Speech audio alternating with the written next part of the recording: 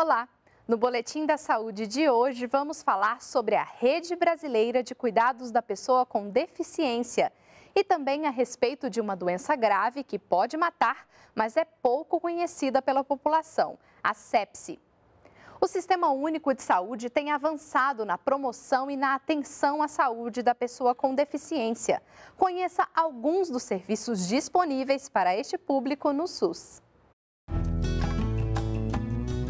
O SUS está preparado para atender as deficiências, tanto na deficiência auditiva, na deficiência visual, na deficiência física e mental. Quando é diagnosticado algum tipo de deficiência logo no nascimento, muitas maternidades encaminham diretamente para um ser, centro especializado em reabilitação, onde ele possa, a partir daí, ter o devido tratamento. E nós temos SER habilitado em todas as regiões. Nos SERs a gente pode ter fisioterapeuta, nós temos médicos, terapeutas ocupacionais, psicólogos, essas profissões que trabalham trabalha diretamente focada na reabilitação, que ele tenha a inclusão, que ele possa ser tratado de uma forma igual. E é isso que o SUS preconiza. No deficiente auditivo, o fono ele vai determinar qualquer terapêutica e existem inúmeras terapêuticas para isso. Quando a gente pensa no deficiente visual, o estímulo que vai ser dado a esse deficiente visual vai ser principalmente a acessibilidade dele. Vai ensinar como que ele vai entender o braille. E aí eu entro na reabilitação física, que talvez dentro do ser seja uma grande demanda,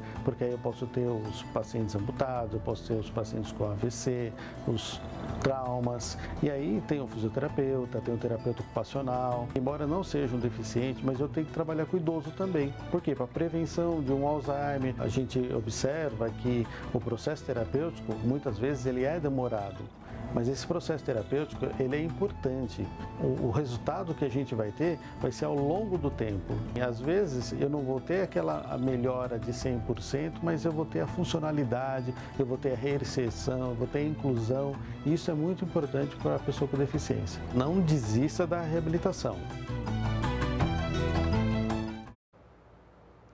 Sepse é preocupante porque é uma infecção que se espalha rapidamente pelo corpo. Ela é uma resposta inadequada do próprio organismo contra uma infecção que pode estar localizada em qualquer órgão. Conheça detalhes.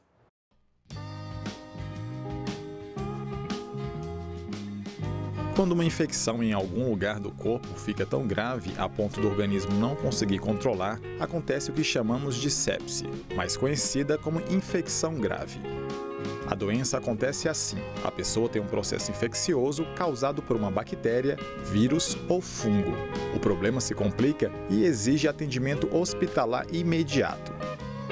Tentando superar a infecção, o corpo reage de modo descontrolado, gerando desde mudanças na temperatura, frequência cardíaca, contágio de células brancas do sangue e da respiração, até sinais de maior gravidade, como a queda da pressão arterial, falta de ar, diminuição da urina ou alteração da consciência com agitação, sonolência ou convulsão. Todo esse processo pode provocar falência múltipla dos órgãos e até levar à morte. A sepse é um problema de saúde mundial que afeta todas as idades e está entre as 10 maiores causas de morte em serviços de saúde. Qualquer tipo de infecção pode evoluir para essa doença. As mais comuns são pneumonia, infecções abdominais e infecções urinárias. Por isso, é preciso tratar o mais rápido possível. Quando uma infecção evolui para sepse, o atendimento imediato e as primeiras horas de tratamento ao quadro de sepse são fundamentais para salvar a vida do paciente. Tem mais chance de ter a sepse bebês prematuros, crianças menores de um ano, idosos acima de 65 anos, pacientes com câncer, pacientes com AIDS, pessoas que fizeram quimioterapia ou uso de outros medicamentos que afetam as defesas do organismo, pacientes com doenças crônicas, usuários de álcool e drogas, pacientes hospitalizados que utilizam antibióticos, catéteres ou sondas. Por isso, atenção! Todas as pessoas com uma infecção e que apresentem estes sintomas devem procurar atendimento na urgência e emergência. Febre, aceleração nos batimentos do coração, respiração ofegante, fraqueza intensa, tonteira, pressão baixa, diminuição da quantidade de urina, falta de ar, sonolência excessiva ou convulsão.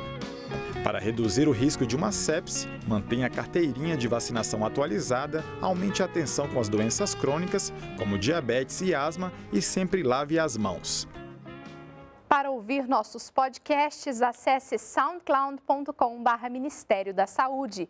Estamos também nas redes sociais. Facebook, Instagram, LinkedIn e Twitter estão cheios de informações valiosas sobre saúde. Você pode assistir outros vídeos em youtube.com.br MinSaúdeBR e ler reportagens no blog da saúde e no portal. O Boletim da Saúde termina aqui, mas te espero na semana que vem. Até lá!